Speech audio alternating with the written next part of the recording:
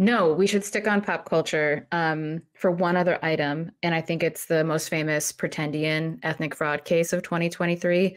And we talked about this on our live episode um, where we were celebrating our four year anniversary as a podcast on December 4th. And then Elena and I mentioned this a bit in our last podcast, but the Buffy Sainte-Marie case. Um, so that dropped on October 27th. I have only uh, scanned the very lengthy CBC expose um, on Buffy Sainte-Marie.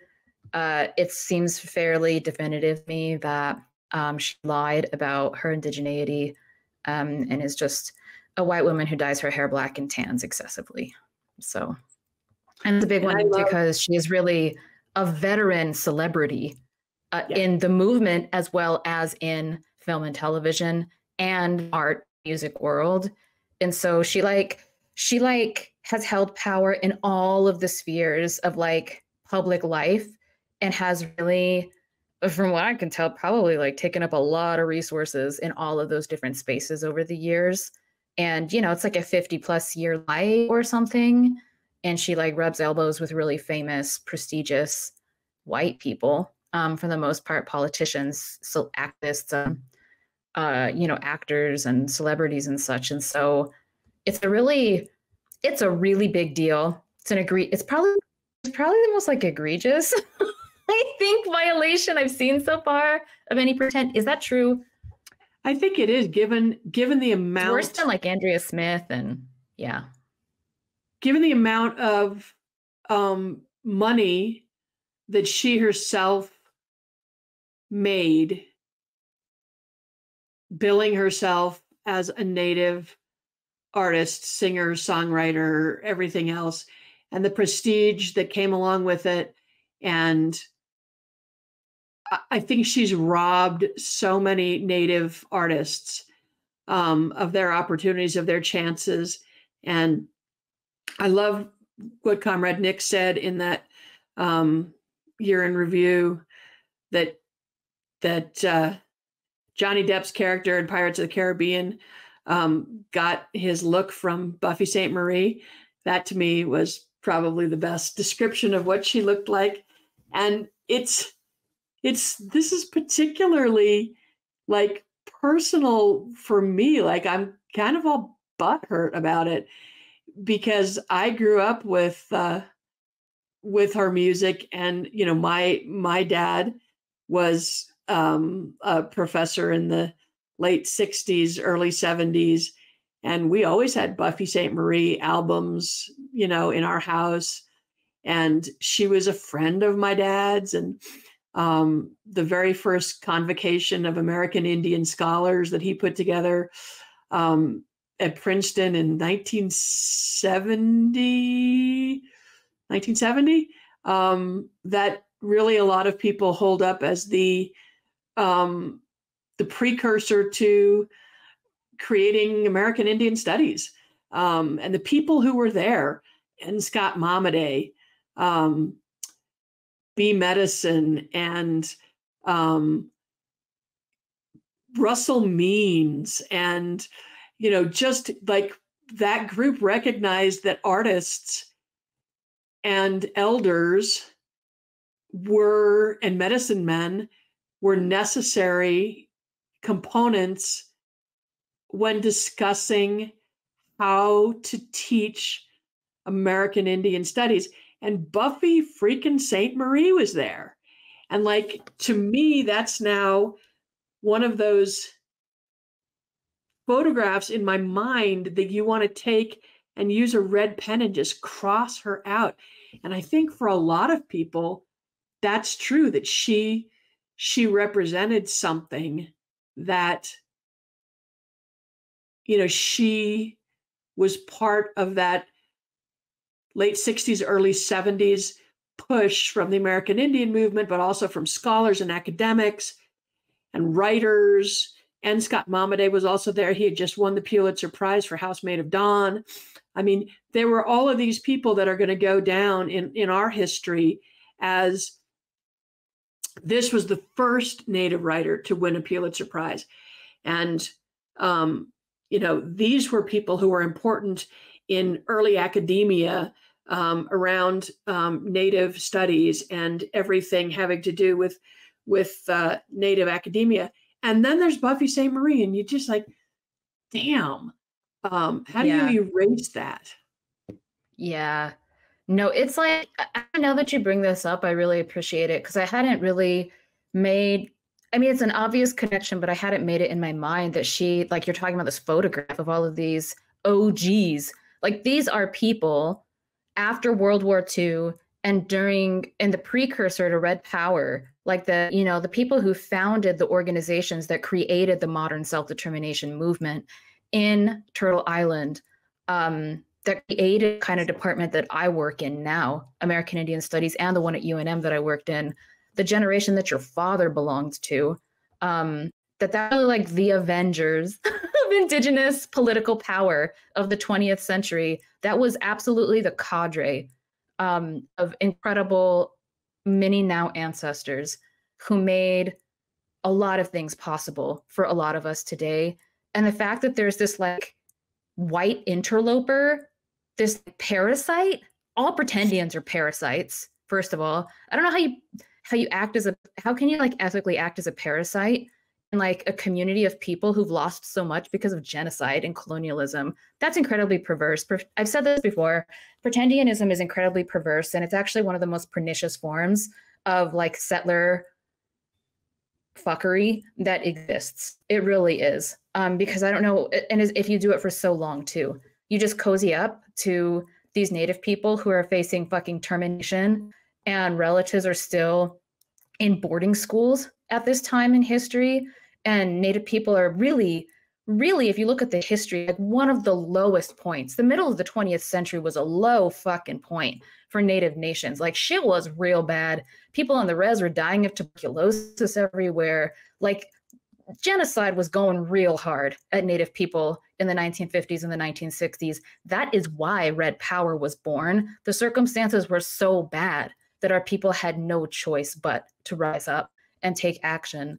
And so to like, I don't know, to be a part of that cohort of actual brilliant revolutionaries and then to claim to belong to that for so long and then to lie about it. like, damn, like, damn. Buffy, you're going to hell too. you are going to hell. That's we need to start a new series. People who I don't know, I don't. I don't know so, if I believe in hell. Like that's not really part of my religious but the important thing is that they do. but it's like, yeah, that's like uh that's real. That's that's Buffy, bad. you're going to hell. And and then to to co-opt the trauma by claiming to be a victim of the 60s scoop. Oh and, no, the, I'm sorry, yeah. The, the yeah, it was the was it the 60s? The 60s scoop. So in Canada, like there's also shit was real bad because of yeah. residential schools. And the and the children, because that that also kind of reminded me of the the podcast stolen because so many of the people that she interviewed um, had been um, victims of the of the 60s scoop and you know they families were were decimated and yeah. and children were ripped away from from their parents and the the trauma that that carries you know that that children grew up native canadians grew up um not knowing where they were from or who their families were and to claim that is not only like perverse, but it's just disgusting. And I, I just don't know how she could have done it. And I don't know how she continues to do it with continued denials, continued denials. And, you know, I think, yeah, she's going to hell, but also all of those folks that believed in her and that just welcomed her because pretendianism, you know, was not such a major thing in the late 60s, early 70s. I mean, I think our OG um, ancestors didn't think that anyone would want to pretend to be native because exactly those, that's what I'm yeah, saying. Most, most of those folks, you know, were coming from I mean, and we've had this conversation before, but like my father was dragged away to to boarding school. My my father was almost taken away and adopted out um, of his of his community um, because of circumstances surrounding his birth, and like those are real.